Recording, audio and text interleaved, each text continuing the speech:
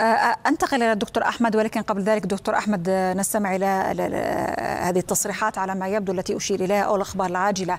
رئيس الوزراء الإسرائيلي بنيامين نتنياهو يقول إن أزمة الثقة مع يؤاف جالنت تطورت ولم تسمح بإدارة طبيعية للحرب. بن كفير بالتأكيد من أكثر المتحمسين لإقالة يؤاف جالنت يقول جالنت ظل عالقا في مفاهيم في مفاهيم لا تسمح بتحقيق النصر المطلق.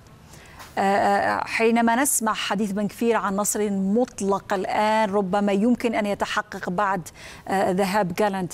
هل يعطينا هذا مؤشرات حول الطريقة أو الاستراتيجية العسكرية التي ستتخذ أو سيتبعها الجيش الإسرائيلي لاحقا في القطاع بالدرجة الأولى؟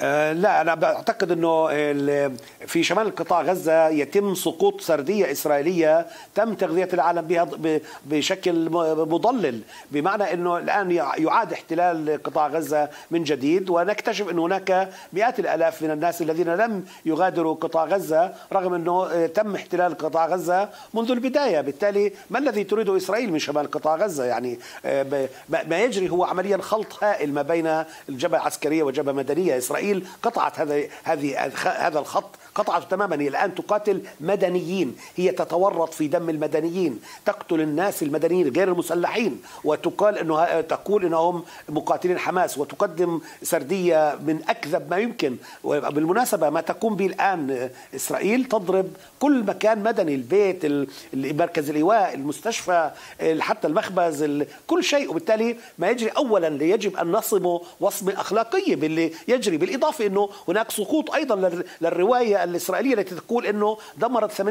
من مقدرات حماس، طيب ما الذي يجري في شمال قطاع غزة؟ وين مقدرات حماس اللي عمليا إسرائيل تعود مرة أخرى لتدميرها؟ لا في شمال قطاع غزة ما يجري وأيضا بالإضافة لما ذكره صديقنا عصمت، أنا برأيي إنه عمليا إسرائيل تريد أن تثبت واقع سياسي أمني نعم. جديد للفلسطينيين، بمعنى ترسم مستقبل سياسي وأمني جديد بمعنى إسقاط حل الدولتين فصل بين قطاع غزة والضفة الغربية الترحيل والتهجير ما زال قائم. بمعنى التهجير بظروف نعم. معينة تهجير في قطاع غزة وقد ينتقل إلى الضفة الغربية. نحن أمام خ...